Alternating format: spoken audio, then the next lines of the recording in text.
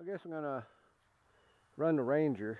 Uh, you gotta run these every once in a while or oh, the uh, fuel evaporates out of the carburetor and they're hard to start. Uh, let's see.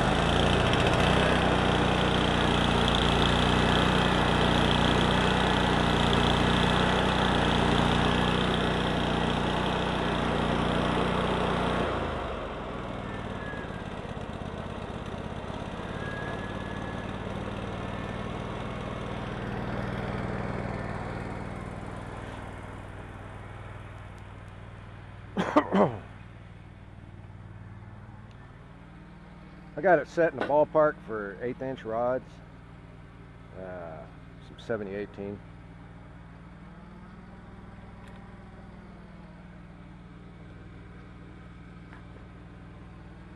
Yeah, see how it goes. I don't, I can't wear my glasses when I got this camera hanging off the end of my nose. So, that'd be interesting. Be half blind, yeah, it'd be alright.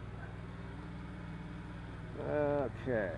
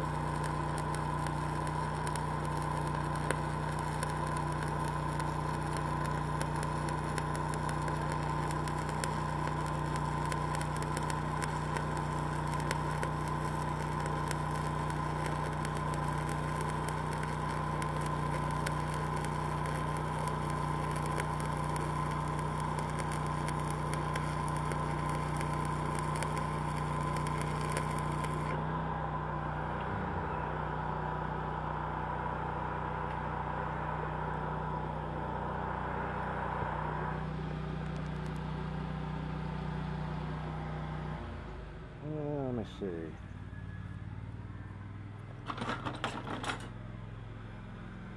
I don't know if you're able to see it well, but you're seeing what I'm seeing.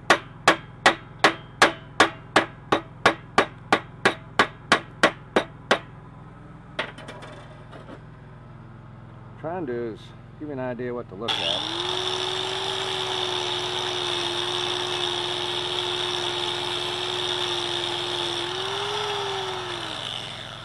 When you run a weld.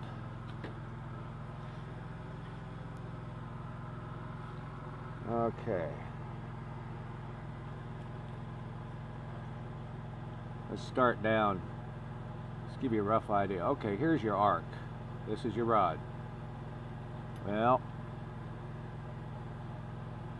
when you're watching that puddle, your actual puddle is back over in here somewhere. That's what you're watching. Your arc is here, your puddle is here. That arc force throws that metal back. So your actual puddle is, oh, I don't know, let's call it an eighth of an inch. Here's a better idea. See this, see where the crater is? That's where your arc is. That's where your filler metal is. So that's what you want to be watching. There'll be a dark semicircle there. Sometimes it's shiny against dark, or sometimes it sometimes it's awful hard to see. You're seeing through the hood what I'm seeing, but that's where you want to watch. That tells you how high that bead is. Um, gives you an idea of how fast you're progressing. If you lose that dark line back there, it means you're moving too fast. You've outstepped your puddle. You're going faster than your puddle. You're back in here, and the puddle's there. Well, pretty soon you start getting a mess in between. That has to be solid all the way back. You're just drawing it back with you. You're letting it follow you. Okay, we'll run another.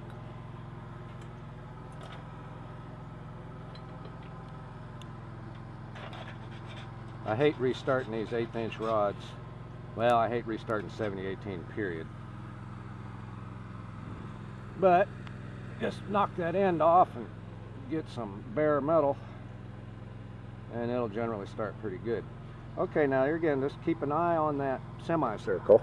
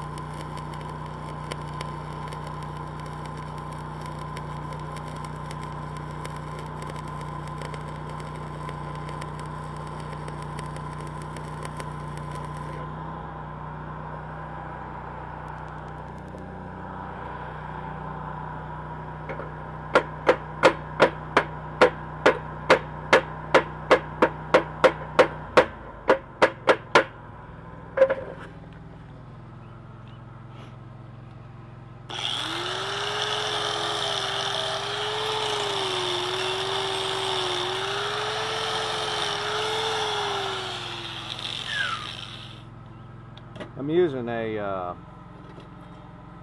Jackson hood. It's uh, the new, I guess it's the new W70 True Sight. Supposedly the best one they got out there now. Now I had a W60.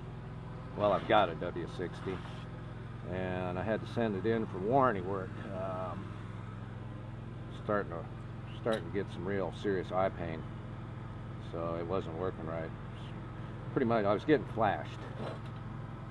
And it was still under warranty so they took it back and they're going to ship it back to me. But in the meantime I bought this one just to get by. Now the difference is this has a green as you can see a green shade. Now my old W60 had an amber shade yellow. Boy I'll tell you what you could see a puddle with that thing. This thing I'm not to be honest with you I'm not crazy about it. I don't think you get the puddle visibility that you got with the uh, W60 Nah, it's up here where I can get to it.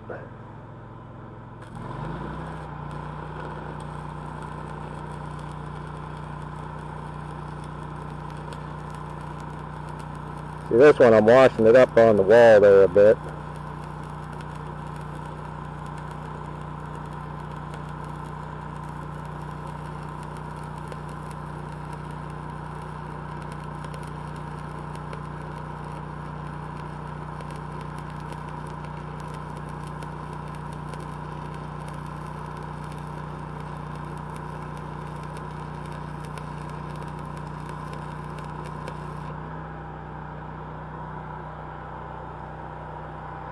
Not much movement in that rod. You don't want to go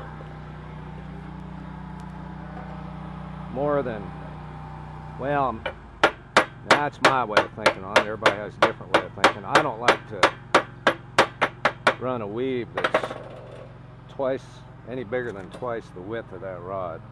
I think you're, what you're doing is you're taking your heat away from where you want it. You want it in the toes and in the root most importantly in the root.